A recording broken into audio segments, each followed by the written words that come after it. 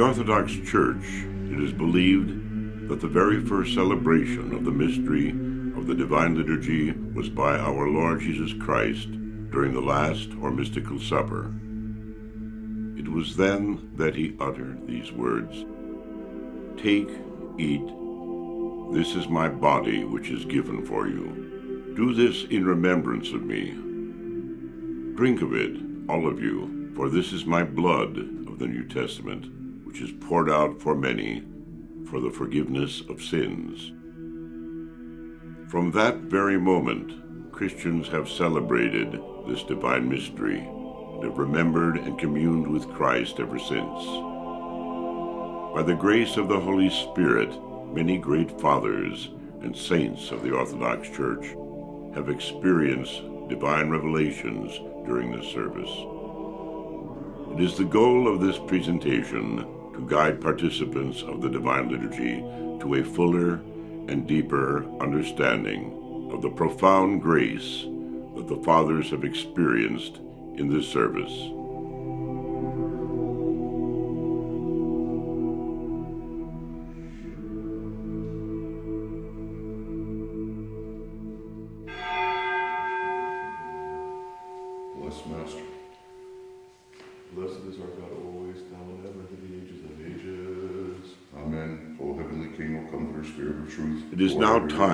Priest and deacon to prepare themselves for the sacred mysteries. One of the greatest requirements for clergy to celebrate the divine services is that of love. It is important to note that although these are the first prayers said by the priest in church, there was also preparation the previous night. Before the priest even comes to this point, he also fasts and keeps vigil throughout the night, saying prayers to ready his soul for the great offering. It is required by every Christian who approaches the holy gifts to make a similar preparation, readying oneself for Christ. The way of the righteousness because of mine enemies make The straight. priest now enters the altar to put on his vestments in preparation for the liturgy. With their tongues they by wearing the priestly vestments, he reminds all that although he comes from this world, he does not belong to this world alone. He stands between man and God, a bridge by which our prayers rise up to the Most High, and the gifts of God come down. The most important vestment to the priesthood is his epitrachilion, or his priestly stole. This symbolizes the grace of the priesthood and of the participation in the priesthood of Christ.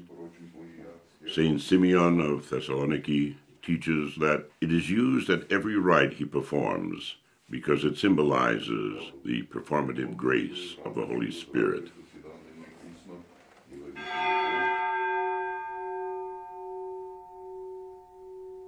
The priest now washes his hands because the hands are a symbol of every action. By washing them, we suggest that all our actions are pure and blameless. St. Germanus. When the priest approaches the prothesis table, it is as if he were approaching Bethlehem, the cave in which Christ was born. This is why it is common to see an icon of the Nativity near the prothesis table. Bethlehem was the place where God first appeared in the flesh, and this is why Christ's first liturgical appearance is here. Saint Simeon of Thessaloniki.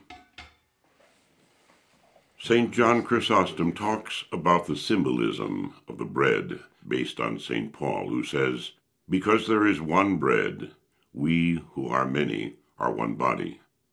St. John asks, What is the bread? He answers, The body of Christ. Not several bodies, but one body. Just as the bread, while it is made up of many grains, is one bread, so that the grains are nowhere apparent, even though they are there. In the same way, we are united with each other and with Christ. The prayers read, Like a sheep he was led to slaughter. Let us pray to the Lord. And as a blameless lamb before his shearer is dumb, so he opened not his mouth. So he opened not his mouth. In his lowliness his judgment was taken away. One of the soldiers with a spear pierced his side, and forthwith came there out blood and water. He that saw it bare record, and his record is true.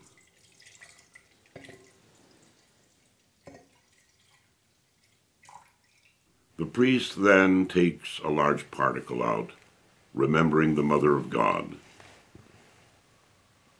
The priest then takes out particles for the nine ranks of saints, the first being in honor of John the forerunner, then the prophets, apostles, hierarchs, martyrs, venerable ones, unmercenaries, then the ancestors of God, Joachim and Anna, the temple saint, and the saint of the day as one piece, and finally the third and last in honor of the composer of the liturgy. In the next part of this service, the priest remembers all of the living and dead souls by name. When the dead are remembered, St. Nicholas Kavasilas teaches the souls of the departed receive remission of sins through the prayers of the priests and by the grace of the precious gifts which have been sanctified. At the completion of all of the commemorations, the assembly of God, which is the Son, assembled together through himself, is now all present. Thus we are all one, St. Simeon of Thessaloniki.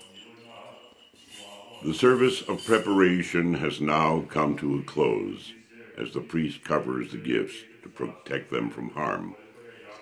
After the gifts are cared for, the deacon censes the altar and then the entire church. Saint Simeon of Thessaloniki recalls the teaching of Saint Dionysius that the altar is to be censed first indicating to the faithful that God's grace and gifts come from the altar. This also indicates the grace, gift, and fragrance of the Holy Spirit, which is poured out upon the Word from heaven through Jesus Christ, and which, through Christ, has ascended again to heaven.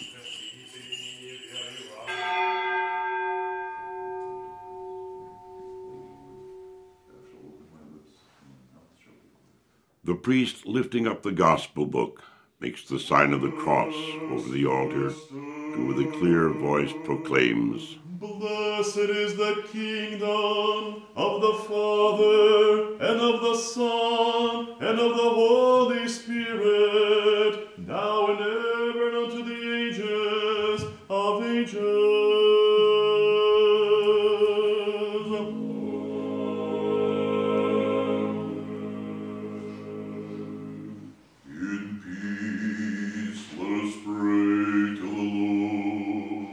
By this first petition, the deacon proclaims how the faithful should begin their prayer, foremost with peace. The more the heart ceases to be disturbed by recollections of external things, the more the intellect is astounded by understanding divine meanings. St. Isaac the Syrian.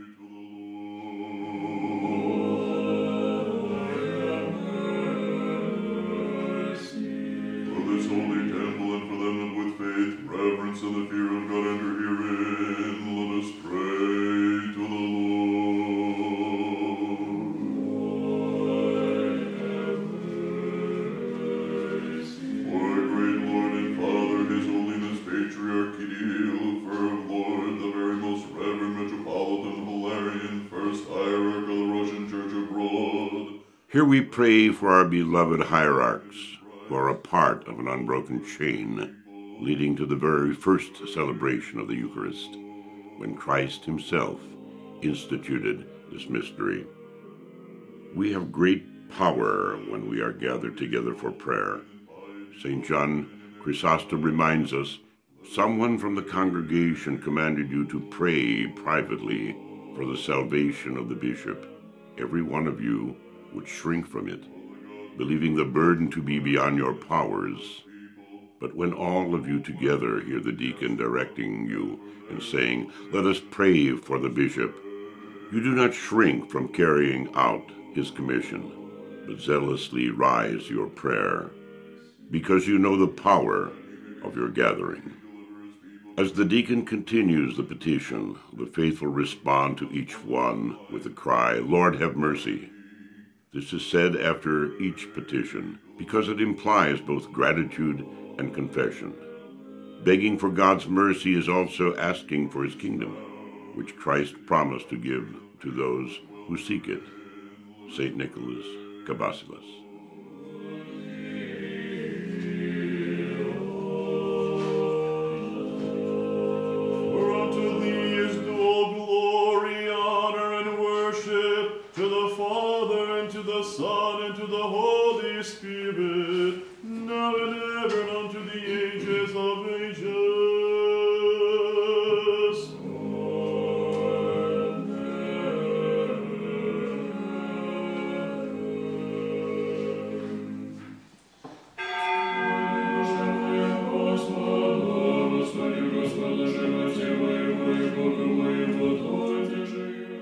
Conclusion of the great litany, the faithful now sing a series of psalms, which St. John Chrysostom teaches us. Great benefit and abundant sanctification are to be gained from spiritual psalmody, and it can become the foundation for the whole of spiritual life.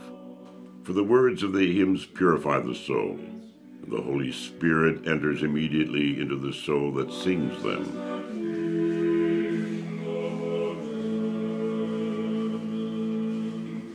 In the Orthodox Church, we do not use musical instruments in worship.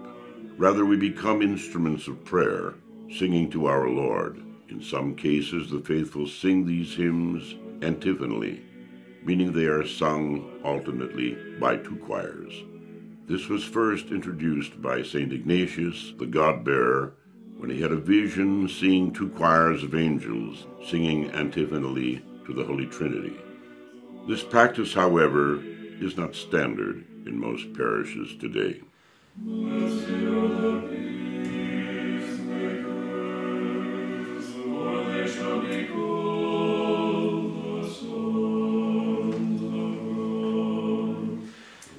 The priest then takes the gospel book and hands it to the deacon and begins to process to the front of the royal doors. The clergy are led out by a candle, which represents St. John the Forerunner, who prepared the way for Christ's word. The entrance signifies the coming of the Son of God into the world.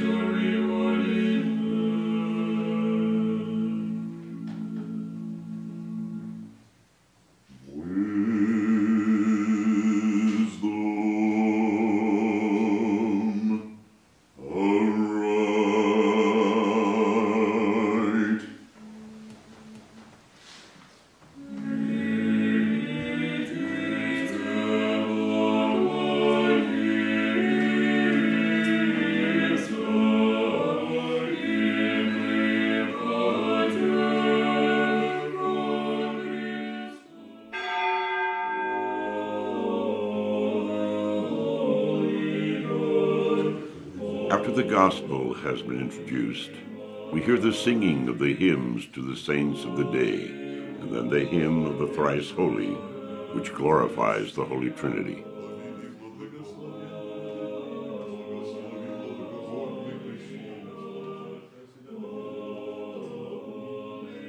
St. Germanus teaches us that the thrice holy hymn is sung three times because the threefold appellation of the holy applies to each of the three persons of the one Godhead. Each of them is holy and mighty and immortal.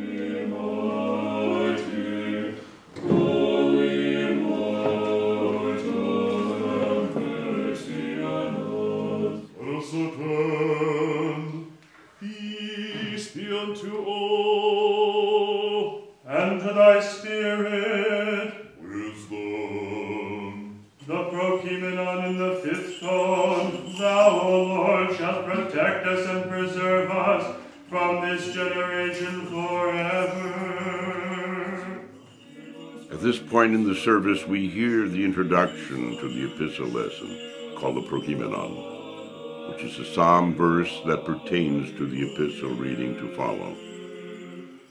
It symbolizes the revelation of divine mysteries by the prophets and the foretelling of the coming of Christ the King.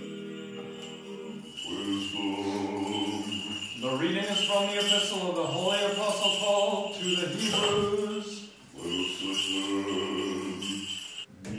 Мир течущему и духами твоему, премудрость.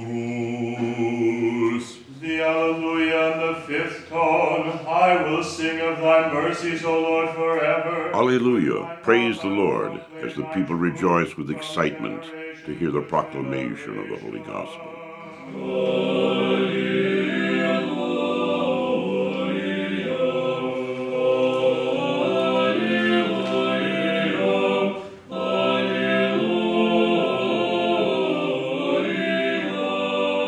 Before the coming of the Lord, it was not possible for man to be joyful, because Christ alone brought us joy.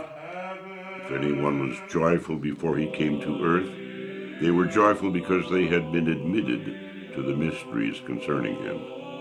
As Christ said of the patriarch Abraham, Abraham rejoiced that he was to see my day. He saw it and was glad. Christ is the exultation that arises in our souls when we gather together to worship him. St. Nicholas Kavasilas.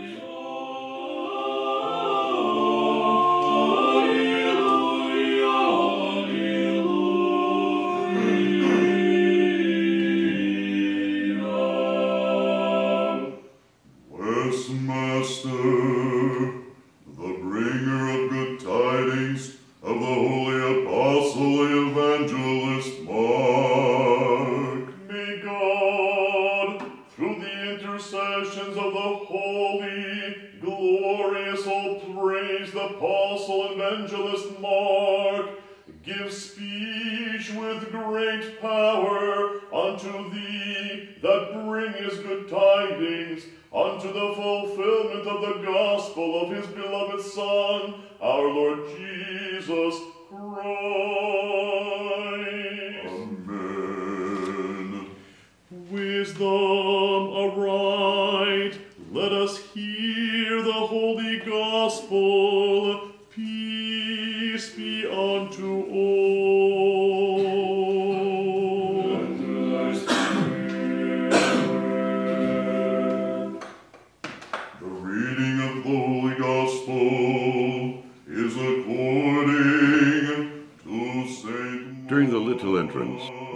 See how the gospel book was covering the deacon's face to symbolically show that it was Christ's face. Now the deacon leans his mouth onto the gospel so that the faithful may hear Christ's voice.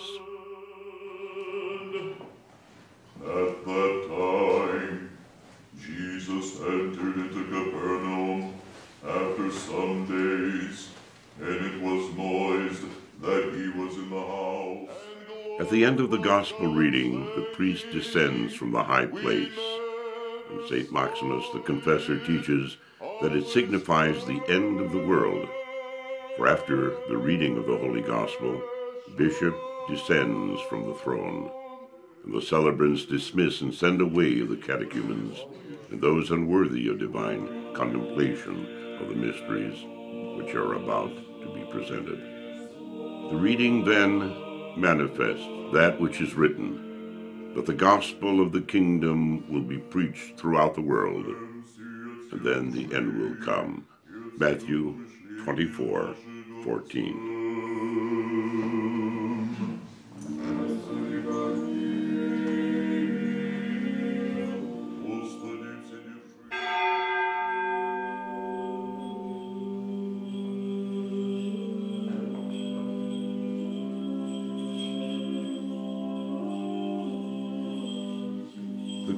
Now reminds the faithful who mystically represent the cherubim and who sing the thrice holy hymn to the life creating Trinity must now lay aside all earthly cares.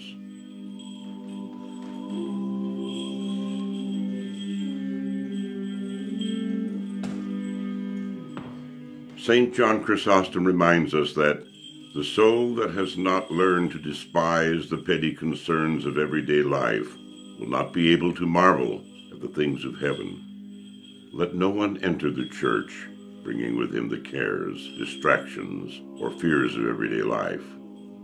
Let us all enter having first left all these things outside at the door of the church, for we are entering a heavenly palace.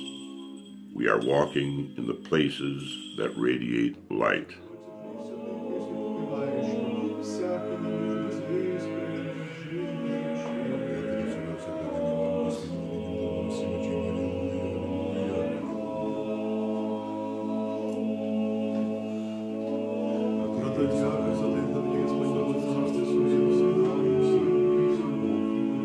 After the priest purifies himself through repentance and asks forgiveness of the faithful, he then processes with the holy gifts.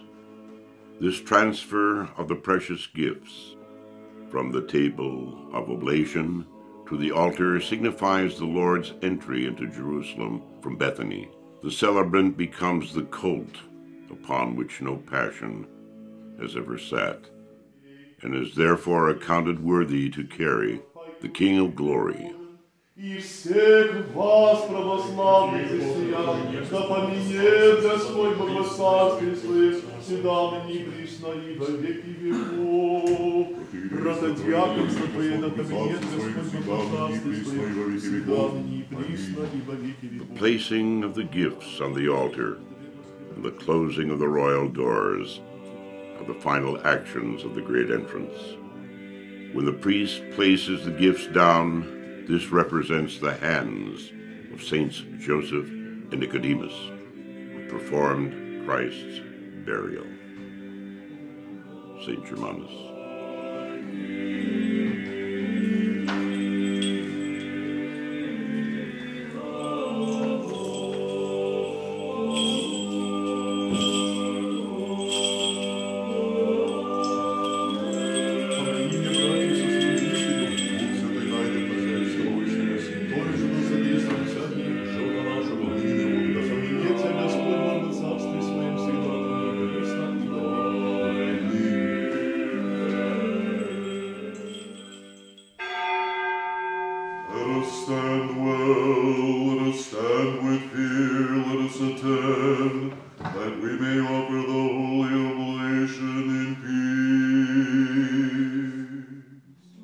Proclamation from the deacon, the faithful now enter into the most sacred part of the Divine Liturgy, the Holy Anaphora.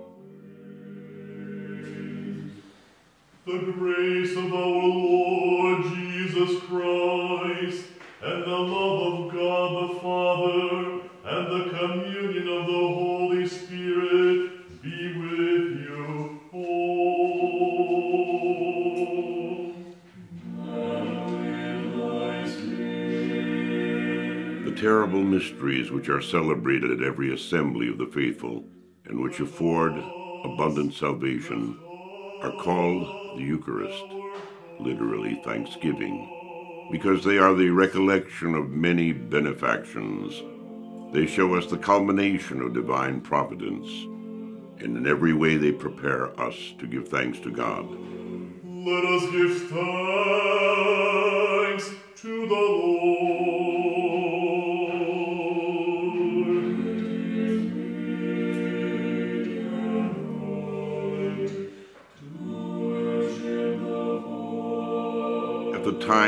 When the sacrifice is being made, the priest exhorts us to give thanks to God for the whole world, for the past and the present, for all that has taken place and for all that will take place in the future.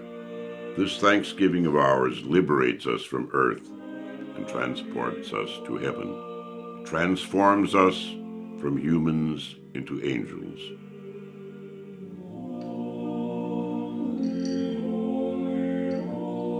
This hymn is a combination of the hymn that the prophet Isaiah heard when he received his calling as a prophet, and when the people received Christ in the holy city of Jerusalem. It is the bringing together the hymns of angels and men to glorify God. Then all the nations and peoples from all ages will fall down before him, and without objection will offer worship. There will be one wonderful symphony of praise. The saints will sing hymns as they have always done, while the impious will of necessity make supplication. Then indeed the triumphal hymn will be sung by all with one voice, by the victors and by the vanquished. Take, eat, this is my body, which is broken for you for the remission of sins.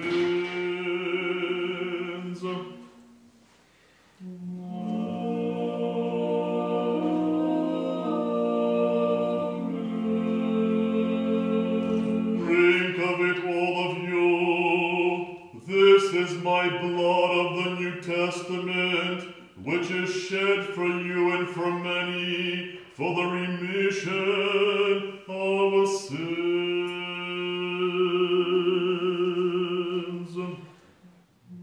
Believe that even now this is the supper at which Christ was present. In no way is that supper different from this mystery, for it is he that offers both the one and the other. He who performed the mystery at the Last Supper, he it is who now accomplishes the mystery at the Divine Liturgy. This holy table is the same table as that of the Last Supper. It is nothing less. St. John Chrysostom.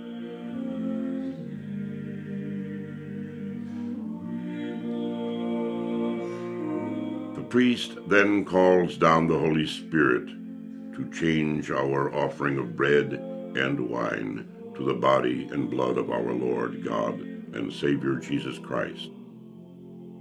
This mystery is a work of the descent of the Holy Spirit, because he did not descend once and only and then abandon us, but he is and will be with us forever. It is he that performs the mysteries through the hand and the tongue of the priest. especially for most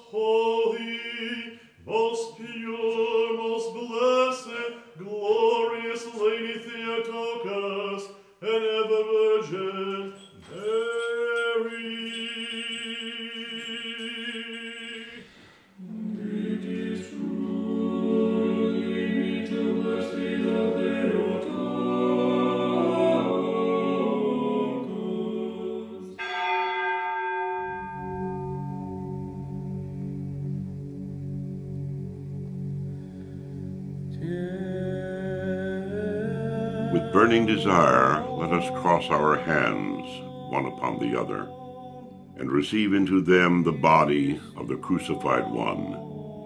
And after touching it with our eyes, our lips, and our foreheads, let us partake of the divine coal. Thus the fire of our love will be ignited by the divine coal, and burn up our sins and illumine our hearts. And through participation in the divine fire, we shall catch on fire and be deified. St. John Damascus. When you are about to draw near to this divine and terrible table in this sacred mystagogy, you should draw near with fear and trembling, with a pure conscience, with fasting and prayer, and without making any noise. Tell me, man, why are you agitated? Why are you in a hurry? Are you under pressure from the need to get on with your work? At that moment, can it even cross your mind that you have work to do? Is it not the sign of a heart of stone that at the moment you think you are standing on earth rather than being a part of a choir of angels? St. John Chrysostom. As one can see, the Divine Liturgy holds a very high place in the heart of the Orthodox Christian. With all of its beauty and splendor, it elevates the soul from the world to the heavenly realm. With a fuller understanding of the Divine Liturgy, one can focus more prayerfully on the magnitude of this service.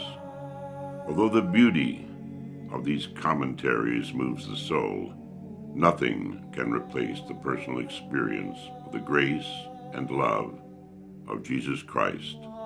Amen.